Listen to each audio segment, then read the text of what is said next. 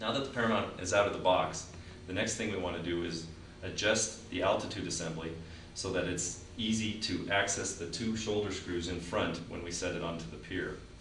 You'll need to use the quarter inch hex wrench which comes with the mount and loosen all six of the socket head cap screws on each side. Once this is done, you can lift up on the declination plate, and this may take two people, but we recommend you put it about halfway up. If you go too far, way up in the to 50 degree position, the mount will want to fall backwards and it's much more difficult to set it on the pier. So if you put it about halfway and then tighten down screw, one of the socket head cap screws on each side before you lift it up to the mount.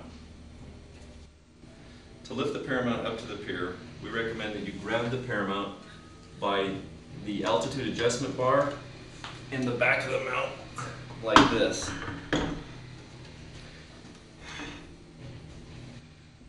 The Paramount is supplied with three shoulder bolts for attaching the mount to the pier. Two of these have been turned down a little bit, they're a little bit smaller diameter, and these should be used in the front where the azimuth adjustment is done. The third is a snugger fit in the rear hole, which pivots around.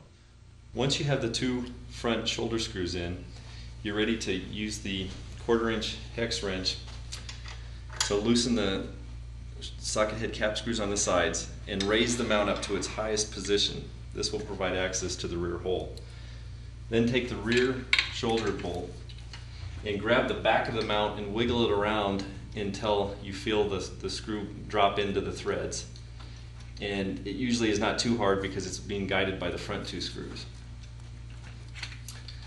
After you get it hand tight, you take the 3 16 inch wrench and snug it down firmly.